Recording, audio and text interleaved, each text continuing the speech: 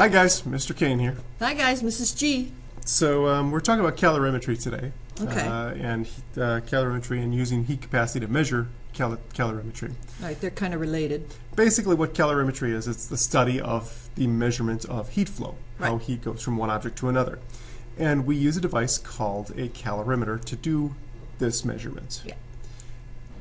And for us, calorimeters are nice, cheap, stacked styrofoam coffee cups. Yeah, they're insulated. They're insulated, right? We basically just want to ensure in a calorimeter that you're not losing any heat to the surroundings.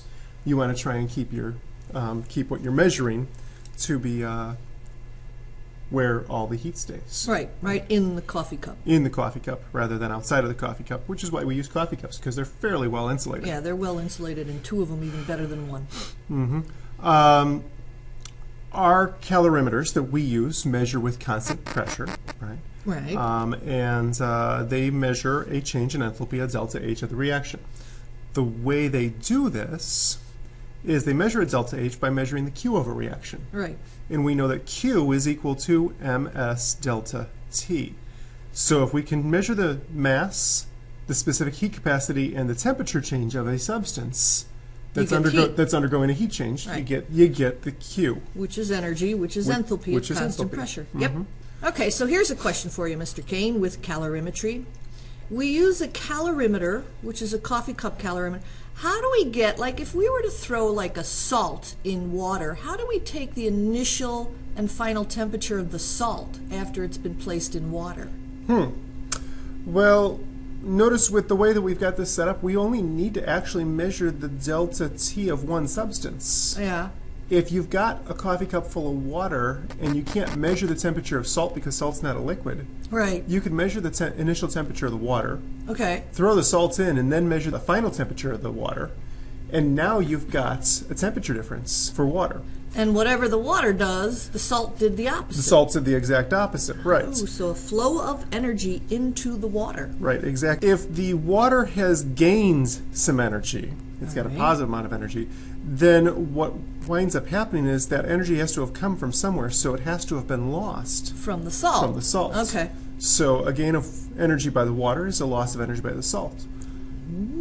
That's starting to look like MSAT equals MSAT. Yeah, it- yes, it does. Wow. All right. So uh, since the change in energy is equal to Q, and energy is not lost or gained, but is transferred, then the energy lost by the hot substance is going to be equal to the energy gained by the cold substance. Okay. So that means that if the two Q's are equal to each other, we could set up an entirely different equation using MSAT. Okay. The MSAT had half of the equation. So MSAT of the hot, the temperature lost by the hot object, is going to be equal to the temperature gained by the cold object. So calorimetry technically uses water to research the energy transfer of other substances to the water. Correct. Substances that are not so easy to take the temperature of, like a block of metal. Exactly. Okay, so if I'm getting this right, the thermodynamic law says you cannot gain or lose or create. So whatever the metal loses, the water gains the exact same amount. Correct. Oh, okay. Yeah.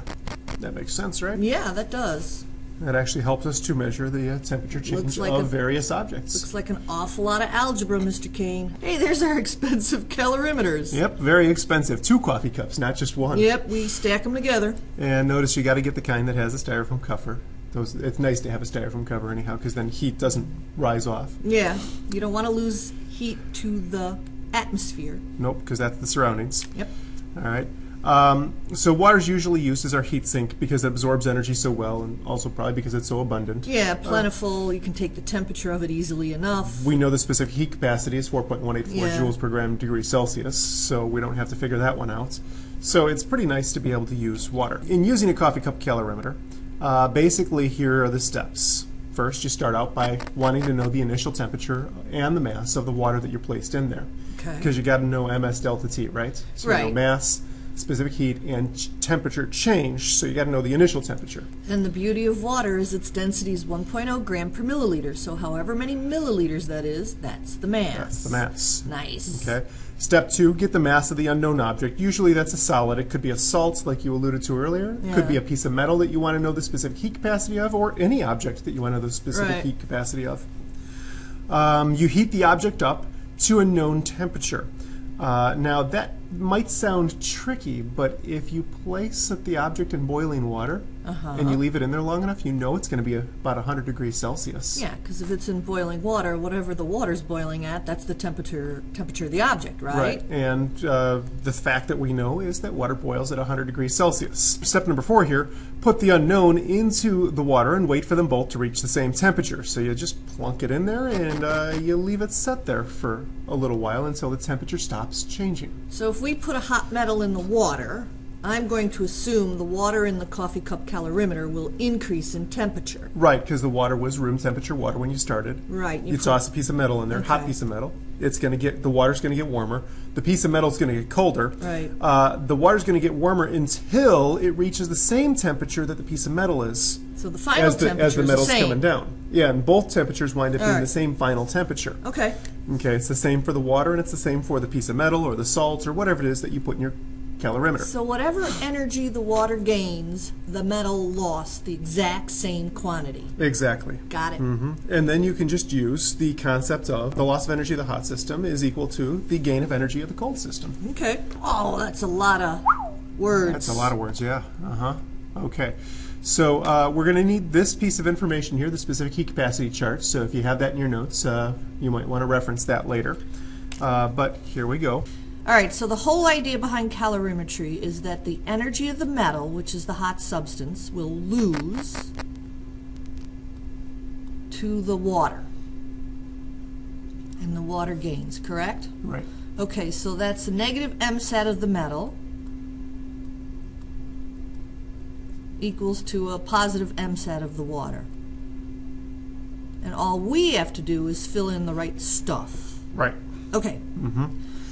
So the mass of the metal was 15.0 grams. So 15.0 times, we don't know the specific heat, That's our unknown. times the delta T, what's, uh, what was the Was final temperature? Final minus initial. The final temperature of the water and the metal, 29.5 degrees Celsius. That's the final temperature of both. and what's the initial temperature The of the metal? initial temperature of the metal was 100. How much water did we have? 50 mils, which is 50, 50 grams. grams. Specific heat capacity to water, I've got that memorized already from all those problems we've been doing. Right, and the final temperature of both of them was the 29.5, but the Right. initial temperature of the water was room temp, which was 25 degrees. Okay. So let's see, 29.5 from 100. Might, might as well multiply that by 15. Yep, times that by 15. That's going to be a negative 1057.5.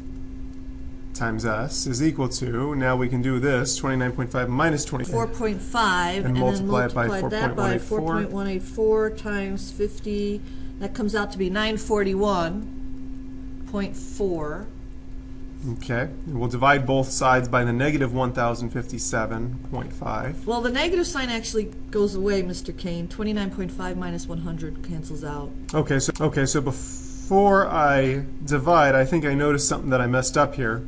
This is a negative temperature change, right? right you And that's a negative sign, so it's two negatives, so it winds up being positive. right because you can't it's the negative sign is there basically for the algebra because you can't have a negative specific heat you can't have a negative mass So when you take that 29.5 minus 100, you get a negative change in temperature, which multiplied by that negative sign in front of, it's an algebra issue.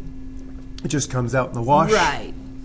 And I divide both sides by 1057.5, and we wind up with an S of 0.890, 0.890. and that's joules per gram degree Celsius. Thank you. That's what I was just going to ask. Yep. Now, um, I got 0.890 joules per gram degree Celsius.